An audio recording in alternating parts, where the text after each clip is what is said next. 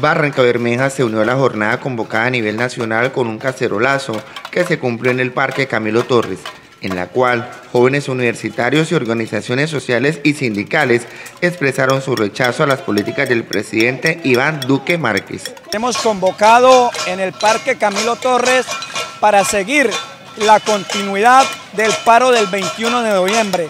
Nuestra Dirección Nacional de Comité de Paro Nacional nos ha orientado seguir el paro, porque el paro no se acaba, el paro se mantiene. Además de ese cacerolazo, se tiene previsto adelantar otras actividades de acuerdo a las orientaciones que se emitan desde Bogotá. Estamos siendo convocados por la Dirección Nacional y a ella nos debemos. Cuando la Dirección Oriente, estamos prestos en el Comando Municipal de Paro para seguir todas las orientaciones en contra de estas políticas neoliberales de Duque, en contra de la reforma tributaria, en contra de la reforma pensional, en contra de la reforma eh, eh, laboral.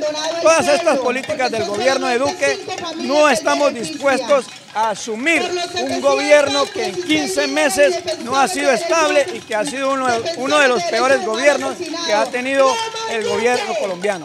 Estas acciones se dan luego de la reforma que tiene proyectada el gobierno nacional, el cual buscan reformar las pensiones, las horas laborales, entre otras.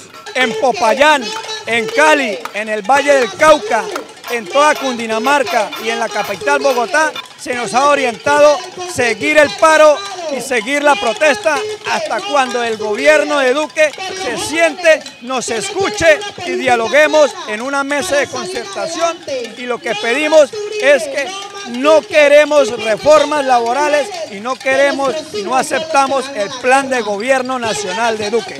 La jornada se extendió hasta las 10 de la noche, teniendo en cuenta que algunos manifestantes se trasladaron hasta el sector del puente elevado.